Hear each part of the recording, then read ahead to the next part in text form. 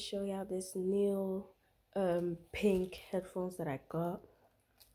So basically it's a gaming headphones with like this mic here.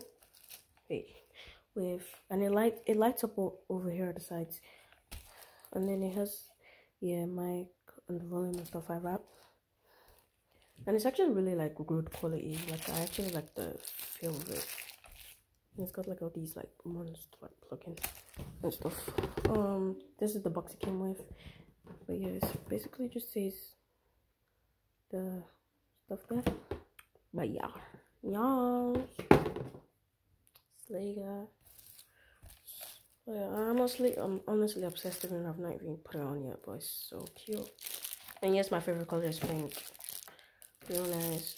Yeah, my old ones. I'll show you my old ones. Hold on. As you can see, these old ones are busted up. Like these parts, like came out there, and this part broke also. Ignore the voice cracks. Anyway, yeah, these were the my old ones. I got pink again, but obviously lighter and better quality because my dad had these with him for a while before he gave it to me so i think that's why it broke.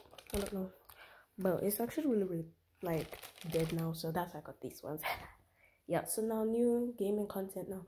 So stay tuned for more youtube videos and make sure you subscribe and join my channel memberships. Period. Bye. Hey y'all so i just wanted to show you my um face mask. And this is one of the things i got from paris not just that I see today, but yeah, it's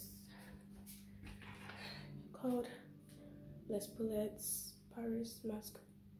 was a Radiant Glow Express mask. It's from France. Paris, the one I got in Paris when I was in Paris. I just want to show y'all that. And yeah, like I said I'm really really like in love with my headphones. Like I love my headphones so much. Yeah. I gotta leave this on for like 10 minutes, but yeah.